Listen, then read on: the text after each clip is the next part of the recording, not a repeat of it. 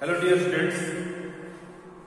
Today we are going to explain chapter number 14 factorization and in this part we will discuss exercise 14.2 rest of the questions. Now in previous part we have discussed exercise 14.2 up to question number 2 and in this part we are going to discuss rest of the question of this exercise.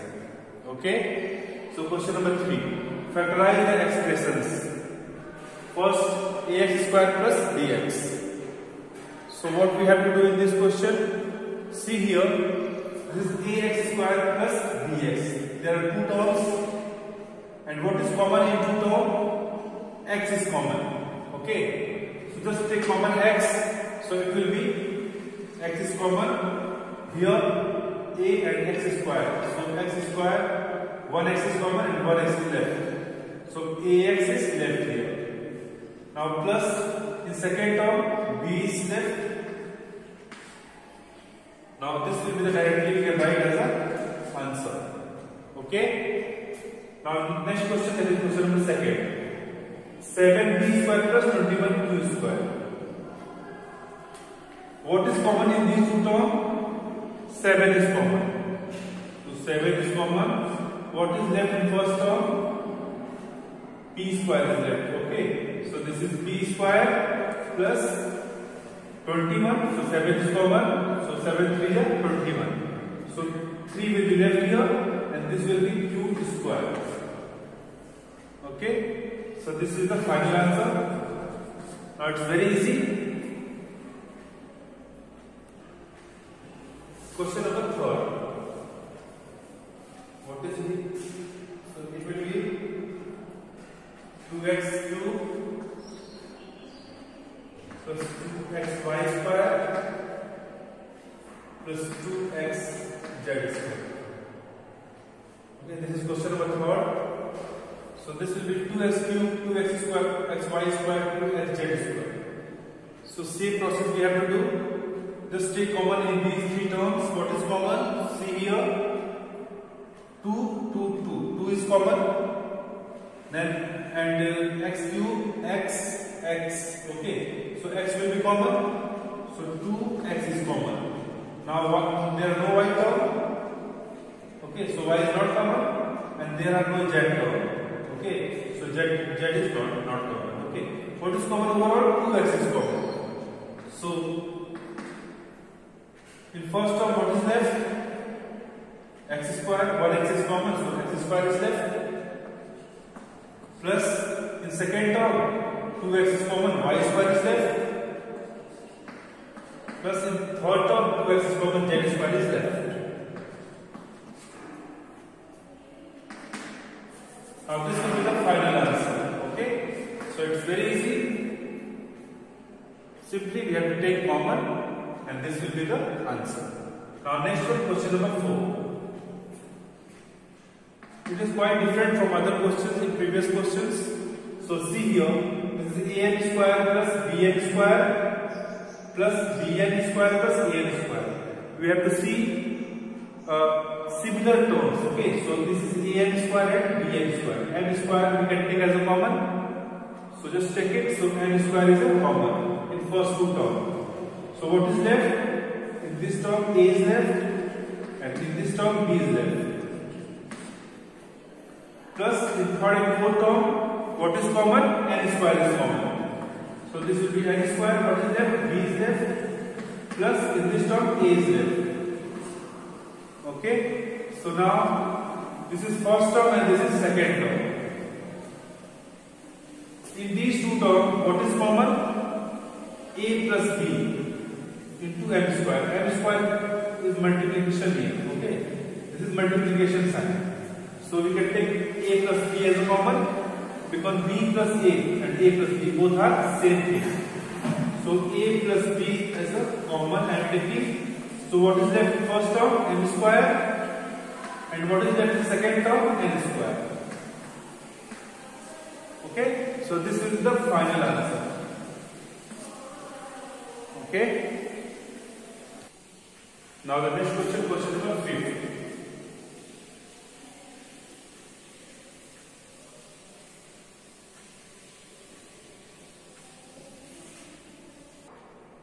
Now question number 5. ln plus l plus L plus 1. Okay. So what we have to do? This is first term and this is second term. So in first term ln plus l, what is common in, in first term? That is l is common. So just take common l. What is left? m and this is 1 plus 1. Okay. I'm taking common l. So what is left? m plus 1. Now this will be, we can take m plus 1 as a bracket. Write in bracket. Now see here, this is first term and this is second term. What we can take common? m plus 1 we can take common. So m plus 1 is common. What is left in first term? L is left. Plus in this term m plus 1 is common. So what is left? 1 is left. Okay, so it will be n plus 1. Now this will be the answer. Now let's next question, question number 6. Y y plus z plus 9 y plus z. So it's clearly see here. It's clearly uh, we can see y plus z and y plus z is common. So just take common y plus z in first and second both term. So it will be in first term y is left plus in second term 9 is left. And this will be the answer. Okay?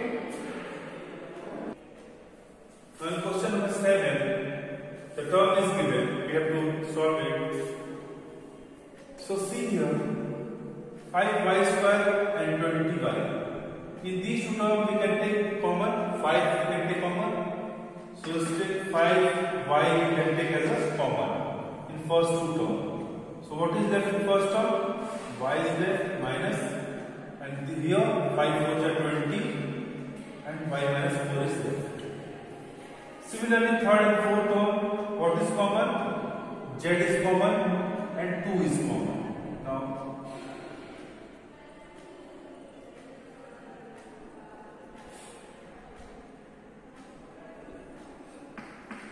two Z is common. What is left in first term? 2 4 is 8, so minus 4 plus fourth term 2Z is common, Y is left. So it will be Y. So see here, this is first term, this is second term. In first term, y minus 4, and in second term, minus 4 plus y. Both are same thing. Okay. So we can take as a common y minus 4. So y minus 4. What is left in first term? 5y plus in this term 2z. Okay. So this is the answer. Very easy. Now next question, question number 8. 10ab and 4a plus 5b plus 2. What we can take common here? We can take common 10ab and 5ab. We can write as a 10ab and 5ab. So here 10ab and 5b. In both terms we can take as a common so what is common in both terms? First of all, we have to write together. Second and third term, we have to write together. So it will be 10ab and plus 5b plus now 4a and 2. We can take as a together. So it will be 4a plus 2. Now in first and second term, we have to take common. So 5b is common here. So 5 2s are 10, 2a plus 1. Now in second, third and fourth term, 2 is common, so it will be 2 2 is 4, 2a plus 1. Okay, so this is first term, this is second term. What is common? 2a plus 1. So 2a plus 1 is common. What is left? 5b is left, plus 2 is left. So this will be the final answer. Okay. Now it's very easy. Now the next question. Now question number 9. So the question is given. So first of all we have to see here 6xy and 9x. In both terms we can take common 3x we can take as a common. Okay, and minus 4y and 6. Here we can take 2 as a common. Okay, so write it 6xy and minus 9x. So these two terms I am writing together. Now minus 4y and 6. It is writing together. Now in first two terms we have to take common. What is common? 3x is common. So 3x will be common. What is left? 3 2 is 6. So 2 and uh, x is also common. So y is left, 2y is left. Minus 9x. So 3x is common. So 3 3 is 9. 2y minus 3 is left here. Now in third and fourth term, minus 4y plus 6. In this two term, what is common? minus 2 is common. So here 2 to the 4, 2y plus and minus 2 is common. So 6, 2, 3 is 6. And here in plus there are 2 minus. So 1 minus is common, 1 minus is left here. Okay. Now in first and second term 2y minus 3 is common. So it will be 2y minus 3 and first term 3x is left and second term minus 2 is left. So this will be the final answer. So it was the complete explanation of question number 3. Now the next question that is question number 4. Question number 4 factorize question number first. So this is given a to the power 4 minus b to the power 4. Okay, so in this question, the, this formula, formula is mostly used. So this will be a square minus b square equals to a plus b and a minus b. Okay. So first of all, what we have to do in this question? a to the power 4 minus b to the power 4. So we have to convert this expression in the in this expression in this formula. So a square minus b square. In this form, we have to convert this expression. So what we have to do? a to the power 4. We can convert into square. So it will be a square to the whole square. This we can write. Similarly, minus b to the power 4. So b square to the whole square. Okay. Now, this form is in this form. A square minus b square where this is a, a square whole square and this is b square whole square. So according to the formula, this will be completely a and this will be completely b. So this a is completely a, so a square minus b square. Okay. So here a square is equals to a and b square is equals to b. Okay. So a square minus b square that means this whole square minus this whole square. Is it clear? Now,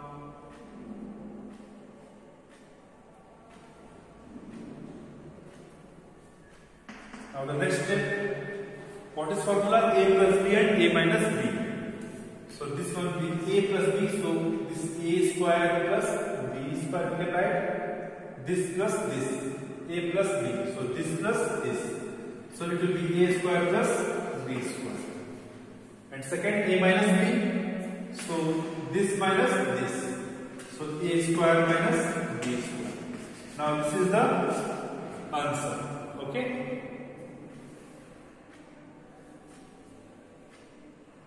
Now the next question that is question number second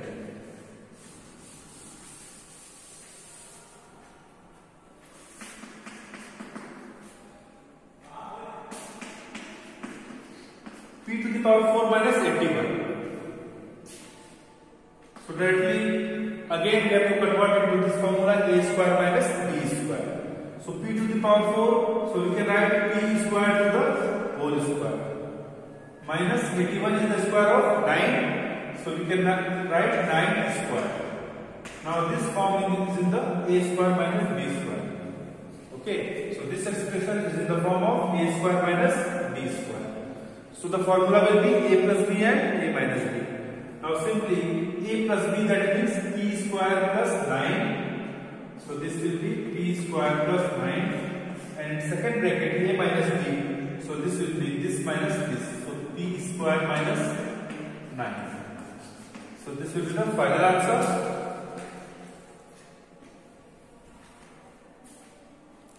Now next question, question number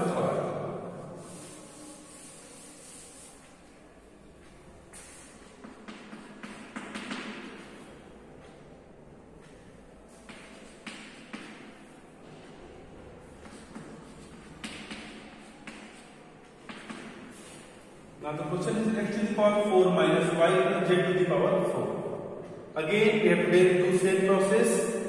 We have to convert we have to convert this expression is in the form of a square minus b square. So this x to the power 4 we can write x square to the whole square minus this y plus z to the power 4 we can write y plus z whole square to the whole square. Now, this expression is the form of a square minus b square.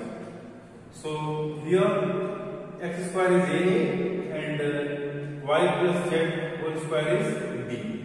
Okay, so a square minus b square. The formula will be a plus b, a minus b. So, a plus b that's this plus this term. So it will be x square plus y plus z whole square. Okay, and next bracket a minus b. So this this minus this. So x square minus y plus z whole square. Okay, now there are two terms, first term and second. In this term, they are x square plus y plus z whole square. So this term we can uh, not this expression is not, not of this expression is not in any formula. So we can take x as a form x as a and this b so a square plus b square. So there are no any type of formula a square plus b square, but in this uh, term, this is a square minus we know the formula a square minus b square. So just just apply the formula on this term. Okay, so it will be same and we have to apply the formula on this term. Because this expression is the form of a square minus b square. So it will be same x square plus y plus z square. Okay. Now in this term, this is a and this is b. So a square minus b square. Formula will be a plus b, a minus b. So directly we can write x plus y plus z. So a, a plus b. And now in second bracket a minus b. So x minus y plus z. Similarly, we can simplify it will be same x square plus y plus z whole square. Now in second bracket x plus y plus z. So it will be x plus y plus z. Now next x minus y and minus will be multiplied to z also. So it will be x minus y minus z. And this will be the final answer. Okay, it's very simple. Simply we have to apply only this formula.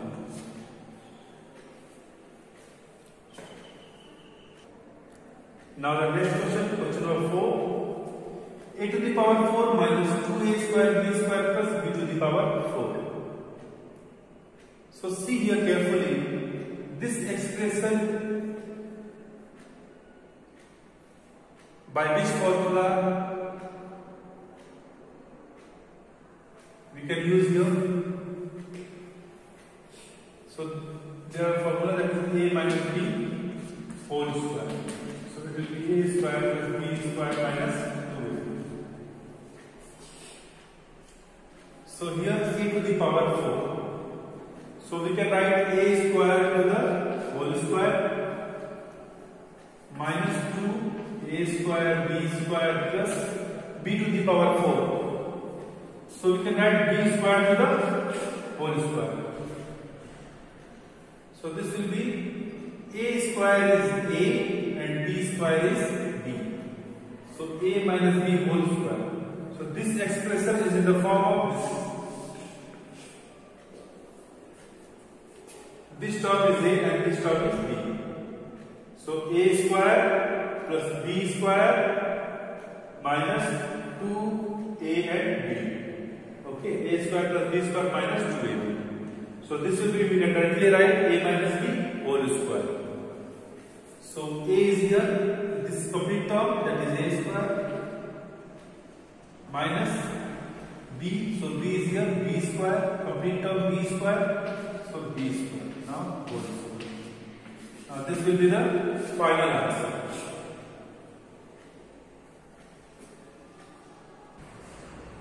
Now question number 5. First part p square plus 6p plus 8. Now this question is look like or we can solve by the method that is middle terms taking method. So in this question what we have to do? We have to just split the middle term. And what is middle term? That is 6p. So 6 is here. We have, we have to split 6 as a 2 number. On multiplication it will be 8 and on addition and subtraction it will be 6. Now just find the factor of 8 so it will be 2 4 the 8, 2 2 4, 2 1 2. Now 2 2 the 4 and 2. 4 and 2 are those two numbers. On addition it will be 4 plus 2 that is 6 and on, on multiplication it will be 4 into 2 that is 8. Now that is p square at the place of 6 we can write 4 plus 2. So this will be 4 plus 2 and this is p plus 8. Now just open the bracket. So it will be P square plus 4p plus 2p. So it will be 4p plus 2p plus 8. Now in first two terms we have to take common. So p is common here. So p plus 4 plus in these two terms 2 is common. So p plus 4. Now this is first term, this is second term. p plus 4 is common. So just take common p plus 4. What is left? p is left. Plus in second term 2 is left. So this will be the final answer. Okay. So it's very simple. Now question number second. q square minus 10q plus 21. Again same question. Same process we have to do. Find the factor of 21. So it will be start dividing by 3, 7 and it will be 1.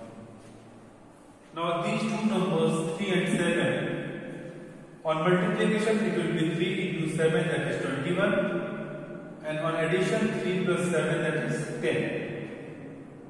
Now we have to write at the place of 10 3 plus 7. Now it will be q square minus at the place of 10 we can write 3 plus 7. So this is 3 plus 7 q plus 21. Now open the bracket so it will be q square minus 3q minus 7q plus 21. Now in first two term q is common. So this is q and here 3 is left, q minus 3. Now in third and fourth term minus 7 is common. So this is minus 7 and here q is left and there are two minus, so 1 minus is common, so 1 minus is this. 7 3 is 21, q minus 3. Now this is first term and this is second term. q minus 3 is common, so just take common q minus 3. And it is what is left? q is left, minus in this term 7 is left. So this will be the final answer. Now this was the complete explanation of exercise 14.2. Thank you so much student. If you have any doubt and queries you can comment in the comment box. Thank you so much.